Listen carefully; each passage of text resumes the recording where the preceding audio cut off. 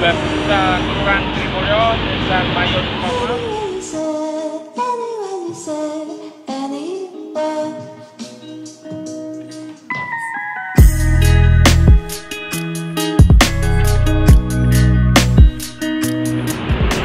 Selamat sore kepada Dik melaporkan Babinsa Kelurahan Trimulyo Desa Mayon Pama bahwa pada hari Rabu tanggal 24 Februari 2021 pukul 16.00 waktu Indonesia Barat.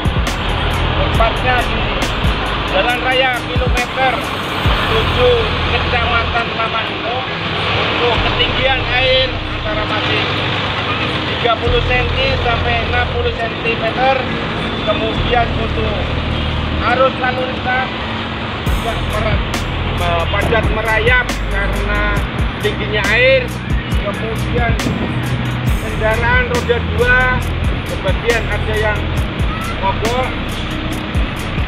Kemudian untuk cuaca sekarang masih mendung mudah-mudahan eh, tidak ada hujan lagi. Demikian dilaporkan. Terima kasih